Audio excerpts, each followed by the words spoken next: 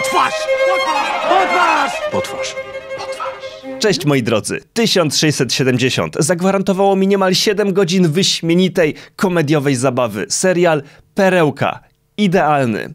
Jednak jest jedno bardzo ważne ale. To nie jest problem, ale niestety będziemy musieli cię zabić.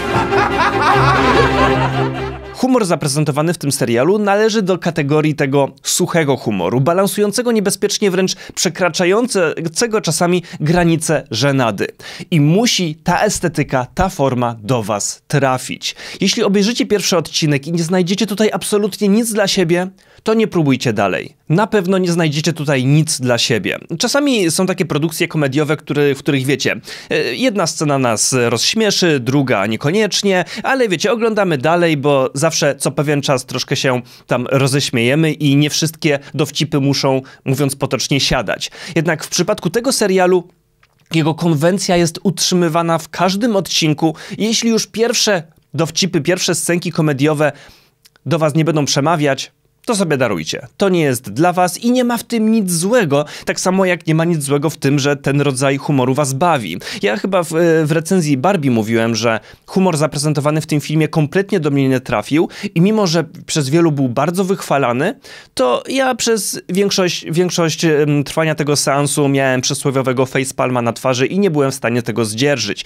Jestem w stanie sobie wyobrazić, że wiele osób będzie miało dokładnie taką samą reakcję w przypadku 1670 w przypadku tego serialu. I ponownie nie ma w tym nic złego, po prostu wtedy nie jest to produkcja dla was.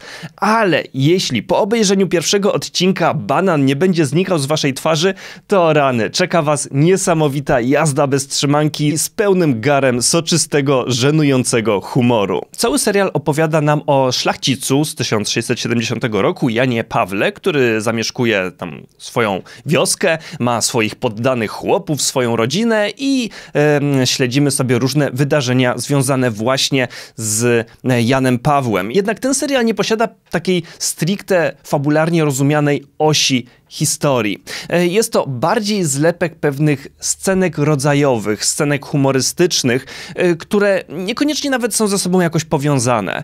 Szczerze, nawet możecie zacząć oglądać jakiś odcinek od połowy i bardzo dobrze wejść w tą opowieść. Co prawda, niektóre odcinki mają pewien motyw przewodni, fabularny, mają pewną, pewne wydarzenie, które jakby prowadzi akcję, ale nadal ta akcja jest odzwierciedlana często właśnie oderwanymi od siebie scenkami rodzajowymi, związanymi z Janem Pawłem, związanymi z jego rodziną, z jego poddanymi, z jego otoczeniem, które działają same w sobie jako takie zamknięte, troszkę kabaretowe scenki. I cały serial jest bardzo mocno właśnie kabaretowy, taki e, inscenizacyjny bym powiedział. Mamy tutaj dowcip dialogowy, dowcip sytuacyjny, e, dowcip wizualny i widać, że twórcy czują się w tej formie jak ryba w wodzie. I forma jest tutaj żywcem zapożyczona z serialu The Office. Jeśli znacie ten serial, to bardzo dobrze już teraz macie na pewno przed oczami, z czym 1670 się je. Jeśli jednak nie, nie oglądaliście The Office, to cały serial ma formę takiego z lekka dokumentalnego programu. Tak jakbyśmy my razem z kamerą odwiedzali Jana Pawła i śledzili wydarzenia związane z jego rodziną i z jego osobą.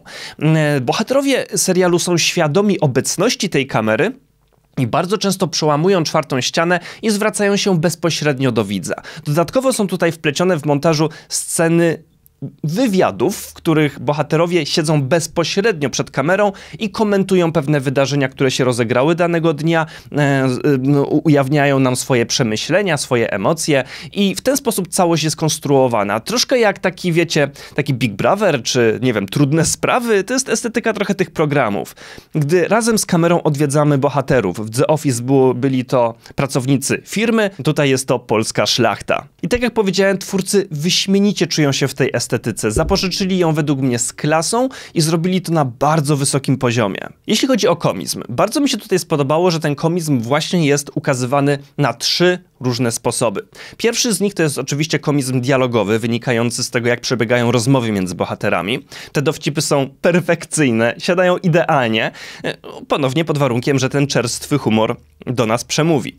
E, drugi rodzaj dowcipu to jest dowcip sytuacyjny, w którym dzieją się jakieś rzeczy komediowe same w sobie, ale trzecia forma dowcipu, która wybitnie mi się spodobała, to jest komizm wizualny. Twórcy bardzo często stosują zarówno różne rodzaje ujęć, różne rodzaje optyki, różnych obiektywów, na przykład szerokimi obiektywami deformują twarze bohaterów. Również prezentują komizm związany z ruchem kamery, z odpowiednim ujawnianiem pewnych elementów, z blokowaniem aktorów. Jest tutaj bardzo dużo właśnie, jak już to powiedziałem, komizmu wizualnego, takiego artystycznego, w którym twórcy używają pewnych narzędzi wizualnych, operatorskich, oświetleniowych, kadrowych, kompozycyjnych, które same w sobie wywołują pewnego rodzaju śmieszność na ekranie.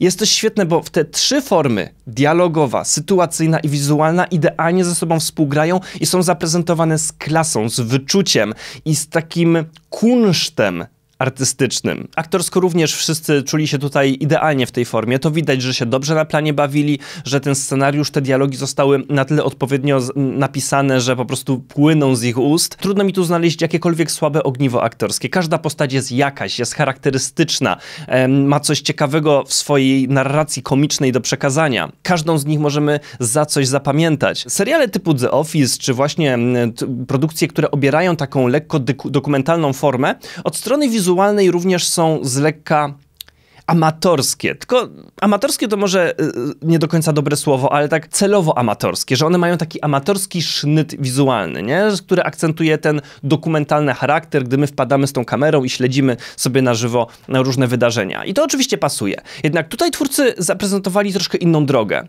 Oni ten cały świat wizualny bardzo ogarnęli i jest on wyjątkowo atrakcyjny Oczywiście ta atrakcyjność jest związana z taką sztucznością i plastikowością świata, jednak jest to taki, taka plastikowość artystyczna.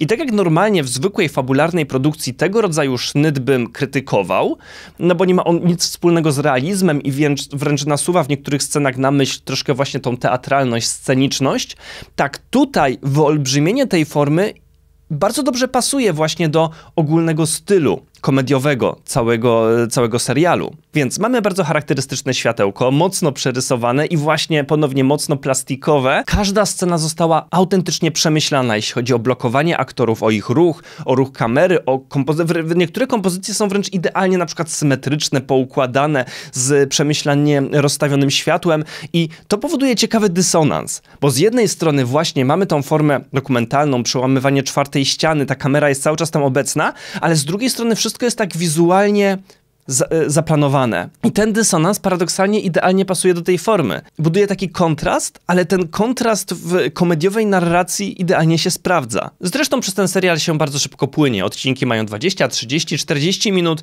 Raczej należą do tych krótszych, jeśli chodzi o czas trwania i to również świetnie działa i świetnie uzupełnia całą, całą formę. Są to takie szybkie komediowe strzały, które po prostu działają. Więc podsumowując, słuchajcie. Forma, w której twórcy się bardzo dobrze czują. Aktorzy rewelacyjnie zagrali i mamy mm, świetne kreacje e, różnych charakterystycznych e, bohaterów. E, mamy formę komediową, która jest ukazana na podstawie dowcipu dialogowego, dowcipu sytuacyjnego oraz dowcipu wizualnego, w którym mm, praca kamery oraz ruch aktora oraz kompozycja, wszystko jest wykorzystywane do tej, do prezentacji tej komedii, do tych scenek rodzajowych. Wreszcie bardzo ciekawa dbałość o wszelkie artystyczne elementy filmu, przerysowanie ich, zaprezentowanie takiego artystycznego plastiku, który jednak w tej formie się po prostu sprawdza. Szczerze, po prostu, jeśli ten humor do Was trafi, to czeka Was 7 godzin wyśmienitej zabawy z satyrą na polską szlachtę. Perełka.